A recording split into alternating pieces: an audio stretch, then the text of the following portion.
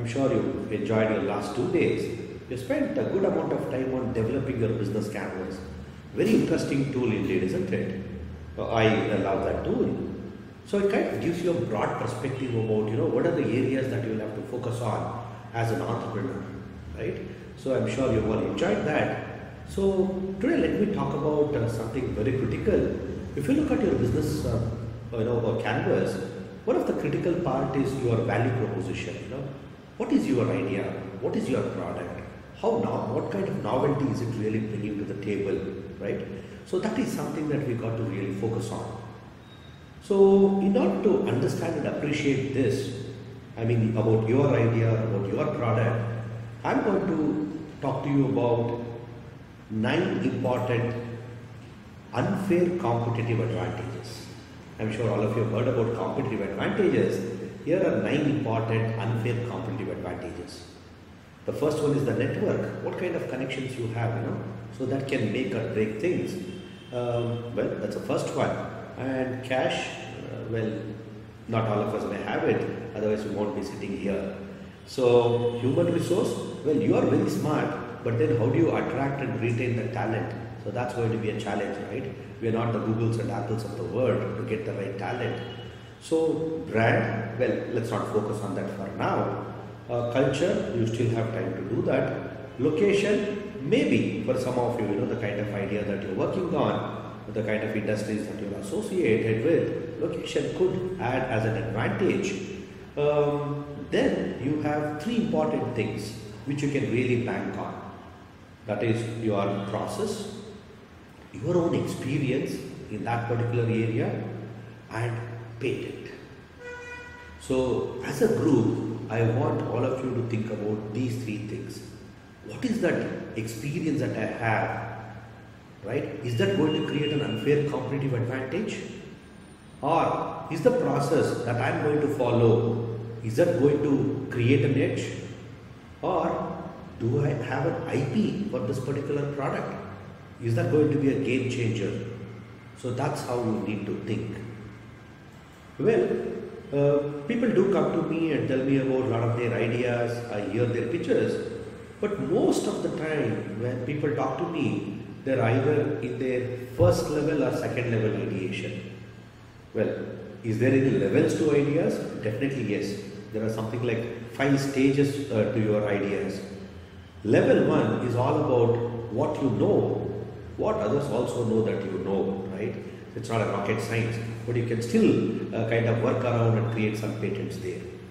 Level two is about you know what your industry knows, but you don't know. So that's level two. So that is something that you can work and uh, pick that up.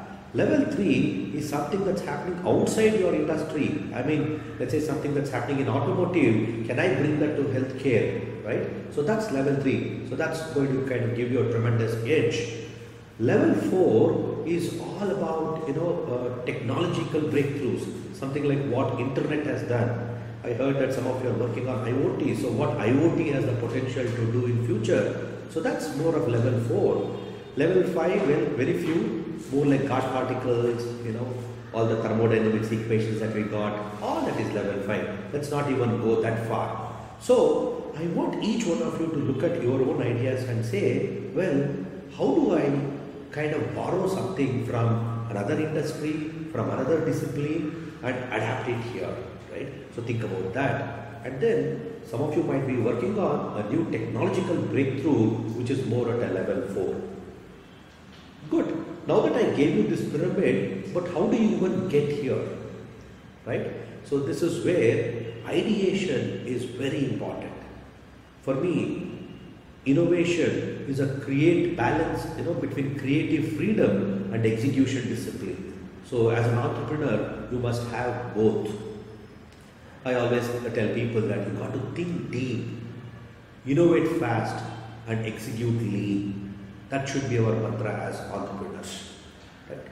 So let me leave you with a simple uh, trigger, right? A simple ideation trigger. Uh, this is based on a work uh, from a US methodologies. So it's called Scamper. Uh, we have customized that and I call this technique as CREATE. C R E A T E. So that's how you remember this.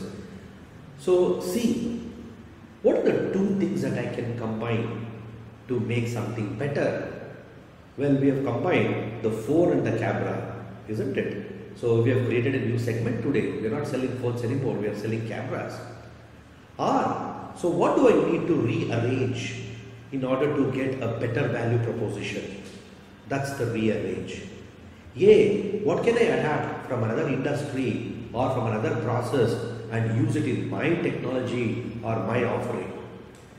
T, what do I kind of turn around, you know? So instead of customers coming to me, can I go to customers? Or instead of you know uh, customers proactively placing an order, is there a call to action where you would you know kind of uh, push them to place an order? So turn around, you know. So that's a very important trigger. But the last one is an important one. E, eliminate. So how do you eliminate? Remember, a lot of breakthroughs have happened when you eliminate inefficiencies. For example, if you look at the phone that most of us have, uh, we hate about the battery, right? So how do I eliminate battery? But I still ensure that my phone uh, gives me a backup of whatever time, right? So how can I eliminate in that particular device? So think about it. So like this, there are many divergent ideas, right? Use them to grow your ideas. But then don't stop here. Idea is just a seed. Idea to concept, I mean from a seed to fruit, it takes a lot more effort. Once you get your fruit, I mean the concept, now go back and check out what is the desirability of this particular concept, feasibility about this, viability, and is this sustainability, right? So those are some of the aspects that you have done in your business model, but then you will have to now look at it from a concept perspective. Well, your concept works, you know your concept is solving a particular problem or addressing an opportunity. Now, how do you grow this concept to the next level? How do you go and create an outcome out of this, right? So there has to be a way to monetize what you have done, isn't it? So that's where your business canvas comes. So for me, business canvas is an outcome. It's a go-to-market ready plan that you have. Even before that, you should have something called as innovation canvas.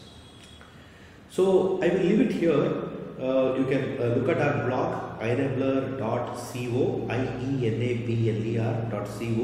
slash blogs.